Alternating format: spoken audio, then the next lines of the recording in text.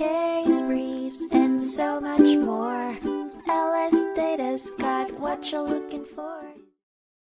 In 1969, the Oregon Supreme Court heard the case of State ex relo Thornton v. Hay, which centered around the public's right to use certain areas of private property due to a long history of unopposed use.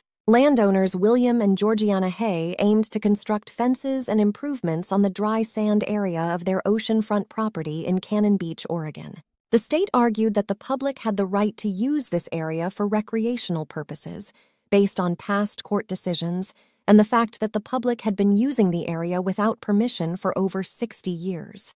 The case raised questions about the state's authority to prevent the construction of fences and other structures in the dry sand area.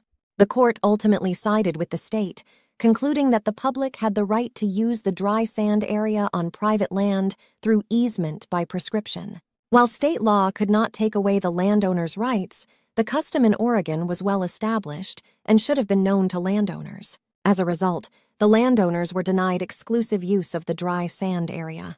This decision upheld the principle that recognizing public rights in such cases does not infringe upon the legitimate interests of landowners. Case briefs, and so much more. LS Data's got what you're looking for. Visit lsd.law, elevate your mind. Leave the stress of class.